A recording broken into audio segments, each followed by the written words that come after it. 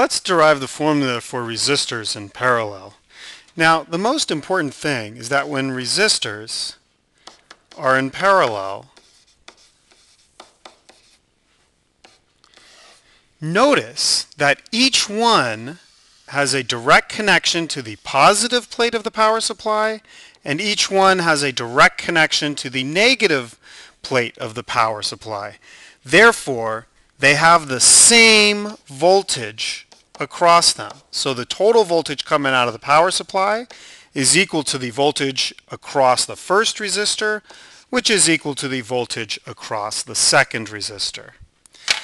Now, the current that comes out of the power supply, let's call this I, well it's the total current coming out of power supply, so I'll call it I total.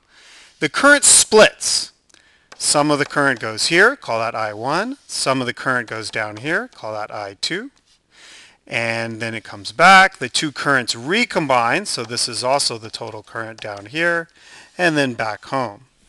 So for the current, well, the total current is equal to I1 plus I2. Great. Well, let's start with that total current formula and Ohm's law. Well, Ohm's law states that the current is equal to voltage divided by resistance. So if I start with the total current here equaling I1 plus I2, I can then plug in for Ohm's law and I get V total over the total resistance.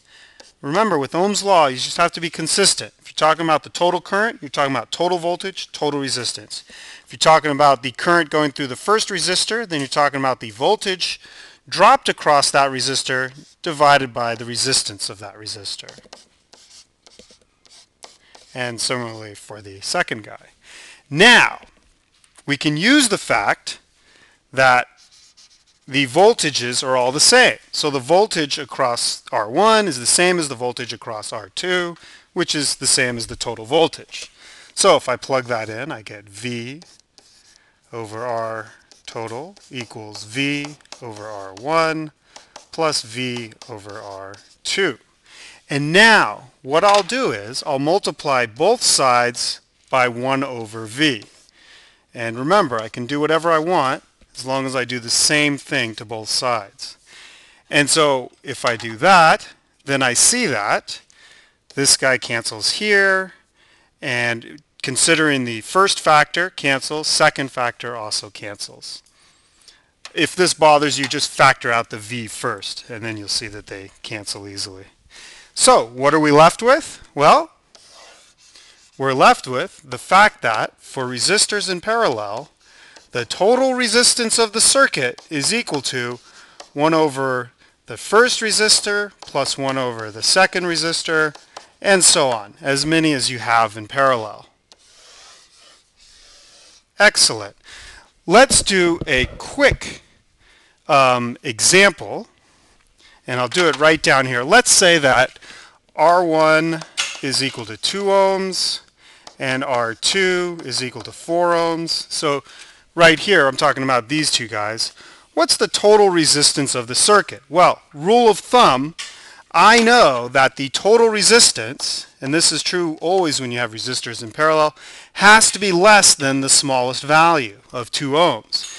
Because even without this guy, you have 2 ohms, and um, when you add that guy, you just add another path for the current. So you make it even easier for current to come out of the power supply. So let's now go about finding the total resistance. Well, R total is equal to 1 over 2 plus 1 over 4. That's equal to 3 fourths, and therefore the total resistance is equal to 4 thirds of an ohm. And sure enough, it's less than 2 ohms. Great. Resistors in parallel.